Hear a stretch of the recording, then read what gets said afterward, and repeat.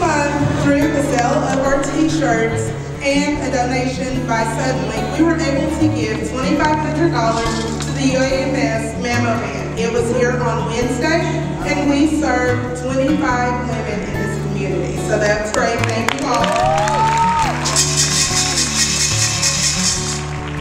And today, to culminate our event, we've been delivering survivor baskets to breast cancer survivors all over town. Behalf of AHS and Goza FBLA, we want to present you this Survivor Kit. We want to do more than just oh. wear pink this year. We want to present something to you.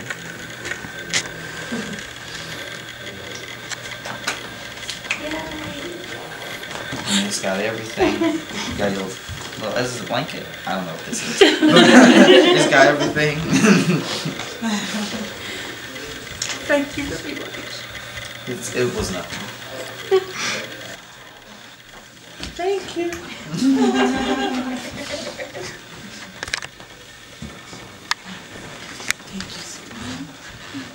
Thank you. Thank you.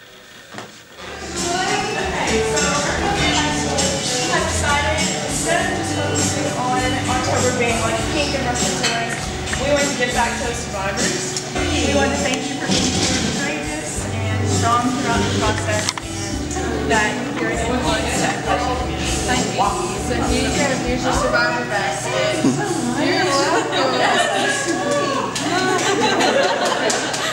And so today we would like to give our last one to a person that is currently going through chemo. Uh, she does have breast cancer, but one time I was told that every day that you survive with cancer, you are a survivor. So we want to encourage her for her fight, and we'd like to present this to you on behalf of Arkadelphia High School, FBLA, and Goza Middle School, FBLA.